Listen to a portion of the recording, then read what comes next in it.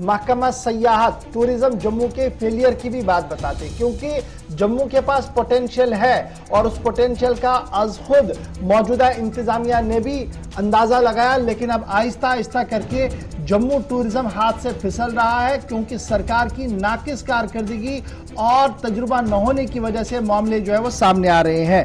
Tourism Jammu की जब हम बात करते हैं, इसको प्रमोट करने के लिए बड़े वादे ज़रूर किए गए, लेकिन ये वादे वफा कब होंगे, किसी को पता नहीं है। और ये सारे मंसूबे जो हैं, अभी भी फाइलों के अंदर ही दबे हुए हैं। और कोई भी विजिबल चेंज जो है, वो ग्राउंड पर नज़र नहीं आ रही है।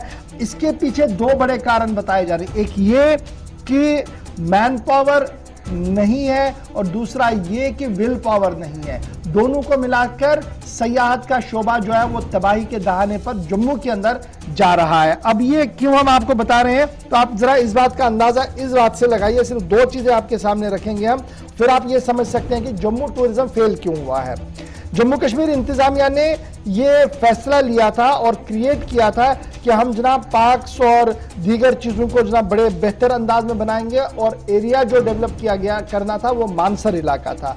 और इसके लिए नौ अशारिया आठ करोड़ रुपया कैपेक्स बजट में मुख्स किया गया रकम और कहा गया कि जनाब प्रोजेक्ट्स को तैयार करें और तमाम फॉर्मेलिटीज को टाइम बाउंड मैनर के अंदर पूरा करें। ये मौजूदा इंतजामिया लेफ्टिनेंट गवर्नर साहब की मैं बात करूँ नौ अशारिया आठ करोड़ रुपया एक इलाके के अंदर डेवलपमेंट के लिए दिया गया, जिसे आप मानसर कहते हैं। लेकिन जनाब, फाइलों तक ही यह महदूद रहा ग्राउंड ज़ीरो पर कुछ हुआ नहीं। उसके बाद दूसरी मिसाल आपको बताते हैं।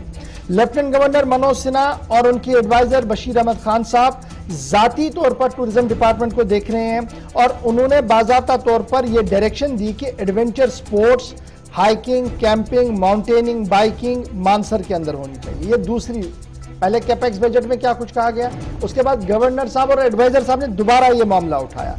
और जो सियाहत के इंचार्ज है, हमारे जोमा है वहाँ पर, उन्हें कहा गया कि मानसर के हवाले से एक प्लान को तरतीब दिया जाए और उसे अप्रूव किया approve by government of India कराया गया कराया गया और काम शुरू करना था।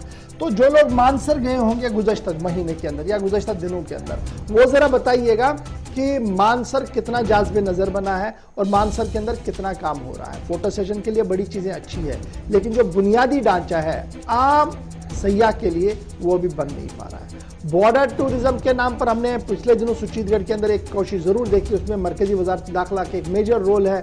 आ, वो प्ले हो गया लेकिन जो पोटेंशियल हमारा है रजौरी के अंदर जो पोटेंशियल हमारा है चिनाब वादी के अंदर, जो पोटेंशियल हमारा है जम्मू के मुख्तलिफ़ इलाकों के अंदर, उसे टैप आज तक नहीं किया गया, जिसकी वजह से हज़ारों करोड़ रुपए का नुकसान स्टेट गवर्नमेंट को भी हो रहा है और जो हज़ारों लोग इसके साथ रोज़गार के साथ जुड़ सकते थे डायरेक्टली इनडायरेक्टली उनके रोज़गार के भी मौके जो है वो छीने जा रहे इसलिए ज़रूरत बहुत ज़्यादा ये है कि डिपार्टमेंट को मुतहरिक किया जाए, फाल बनाया जाए और जो दफ्तरी का तबालत है, महीनों लगते हैं, उसे शॉर्ट करने की कोशिश की जाए ताकि मनसूबे ग्राउंड पर उतर सके और जम्मू कश्मीर रियासत एक मॉडल के तौर पर उभर सके।